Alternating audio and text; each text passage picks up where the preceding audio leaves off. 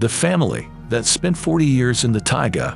In 1978, Soviet geologists discovered a family of six in the taiga. The Lykov family have lived there for 42 years. They belong to an obscure Orthodox sect. The patriarch of the family was Karp Lykov. In 1936, his brother was shot by communists. Karp packed up his wife and two children and fled. They established a homestead. They lived off the land with no contact to the outside world. They had no idea that a world war had taken place.